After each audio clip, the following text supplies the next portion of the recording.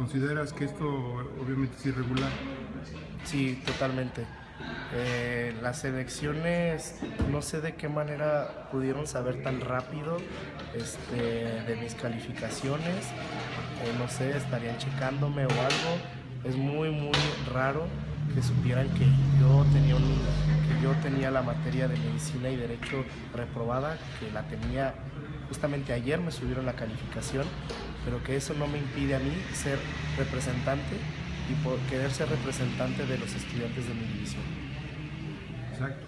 O sea, pareciera que, que los maestros o los órganos administrativos tratan de influir en las decisiones de los estudiantes. Quiero pensar que los que tomaron esta decisión eh, puede que estén apoyando a alguien más, puede que no quisieran que yo llegara, no desconozco las razones. Los chavos en la, en la división saben que yo siempre me he conducido de una manera adecuada, queriendo participar, realizar proyectos.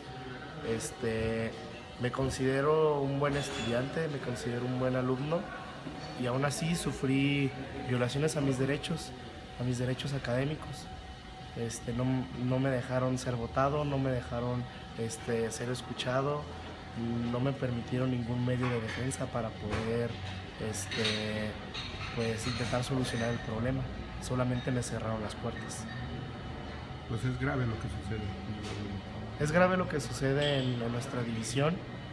Eh, que espero que esto no pase en otras divisiones y ojalá la comunidad estudiantil empecemos a tomar cartas en el asunto porque si las cosas van, van así, nuestra división de Derecho, Política y Gobierno estaría sufriendo una grave crisis.